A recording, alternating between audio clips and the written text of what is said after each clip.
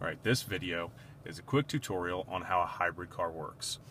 Every hybrid car has a gasoline engine, an electric motor slash generator, a lithium ion hybrid battery, and then this electric motor generator also doubles as its transmission.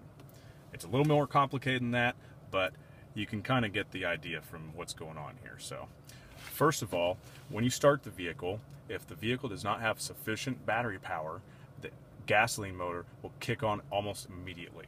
But we're going to show you how the energy map works real quick. So we're going to put it in drive and we're going to take off driving. So right now, only the electric motor is providing power to the drive wheels. You can see by the energy map that the green power flows from the battery to the drive wheels. Now if I give it a little bit more power, all right, you'll see that the red lines have started and that's the energy that comes from the engine, the gasoline engine, right? And then we're going to let off. And as you can see, the red lines have stopped and the green lines have started all by themselves.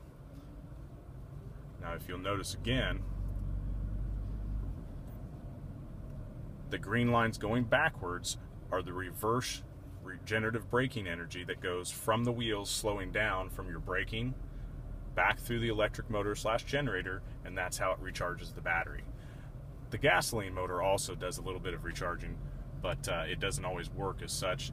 That's why it's called a hybrid synergy drive, and your gasoline motor and your electric motor are working in synchronous synergy. Toyota comes up with some pretty good sayings.